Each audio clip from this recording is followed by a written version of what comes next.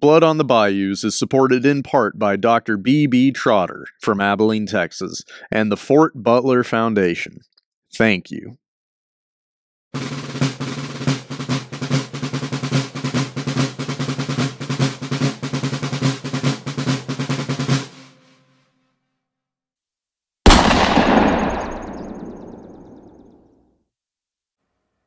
I'm Don Frazier, and we're continuing our series on the Civil War in Texas and Louisiana. Well, now the Federals are on the Texas coast. They have scouted Sabine Pass and they have occupied the city of Galveston. So this sends a thrill down the spines of Texas Unionists because they're still looking for a way out and away from what they consider Confederate terrorism. Uh, there's two routes for them. Some hope they can get to Louisiana, maybe by Mexico. Others are looking north towards Kansas and hoping that perhaps Union troops will come through the Indian Territory into North Texas. Well, the arrival of Federals on the Texas coast gives them a third option. Maybe all they have to do is get down to Galveston. Now, North Texas was a portion of the state that was decidedly pro Union in the secession referendum. When those votes were held, North Texas counties tended to be Unionist.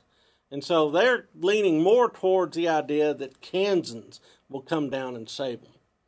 Well, these guys form union leagues.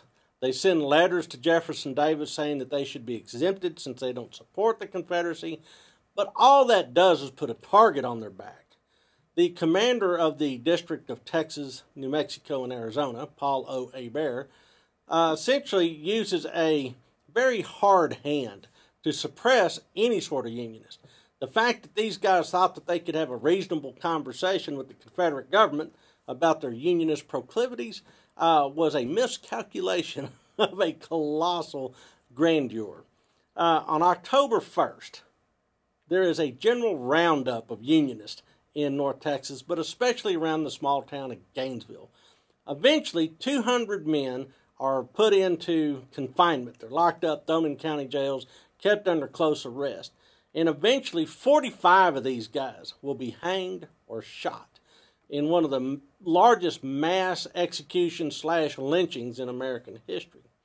Uh, clearly, if you're a unionist in Texas, you still had better mind your manners because the Confederates will seek you out and they will make life very, very difficult. Eventually, Paul O. Hebert, the CSA commander in Texas, is relieved of command because of his heavy handed tactics, not only in North Texas, but I mean for several months. Uh, he goes away and he will end up uh, surfacing again in northern Louisiana and Monroe, back in his home state. But who replaces Paul O. Hebert? It's an interesting choice.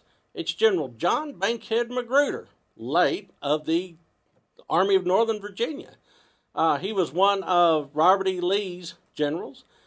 Robert E. Lee and he had a falling out, and so Magruder found himself heading towards Texas. He comes in, sets up his headquarters in Houston, and tells everybody he is going to save the day and make sure that Texas remains a vital portion of the Confederate States of America.